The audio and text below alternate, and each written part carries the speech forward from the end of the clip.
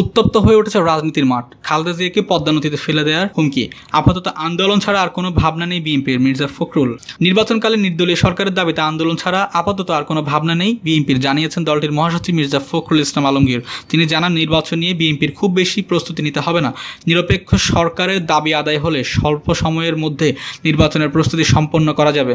নির্দলীয় সরকারের দাবি আদায়ের পর তত্ত্বাবধায়ক সরকারের ফর্মুলায় যোজন বিয়োজন হতে পারে বলে জানান বিএনপি মহাসচিব।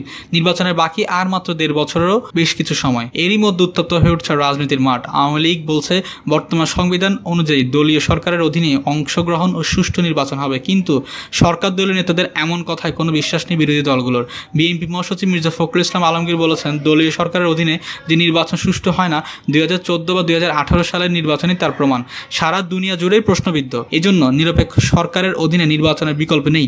নির্দলীয় সরকারের রূপরেখা বিএনপি দেবে কি না, এমন প্রশ্নের জবাবে মির্জা ফখরুল জানান, নিরপেক্ষ সরকারের দাবি আদায়ের পর নির্দলীয় সরকারের আগের ধারাগুলোর বিষয়ে আপত্তি থাকলেও আলোচনা হতে পারে।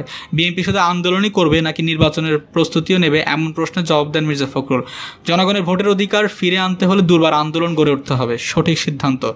খালেদা জিয়াকে পদ্মা নদীতে ফেলে হত্যার হুমকি দিয়ে অশালীন ও অরাজনৈতিক বক্তব্য দিয়েছে শেখ হাসিনা। বৃহস্পতিবার সৈয়দপুর বিএনপির কার্যালয়ে জেলা বিএনপির কর্মী সভায় তিনি এসব কথা বলেন। তিনি আরও বলেন, নির্বাচন ও বিচার বিভাগকে এ সরকার দলীয়করণ করেছে। বিভিন্ন আইন দিয়ে বিরোধী দলের নেতা কর্মীদের উপর বিভিন্ন মামলায় জড়াচ্ছে।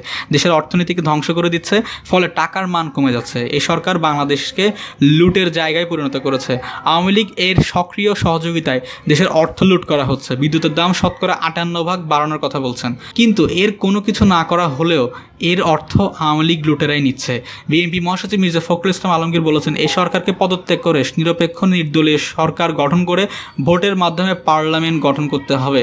দেশ ভয়াবহ অর্থনৈতিক সংকটে শ্রীলঙ্কার মতো অবস্থায় আমরা যাচ্ছি। এখানে কথা বলার স্বাধীনতা নাই, কথা বলে মিথ্যা মামলা জড়ানো হয়, আর ভোটের অধিকার হরণ করে নিয়েছে, ভোট আগেই হয়ে যায়। ধন্যবাদ।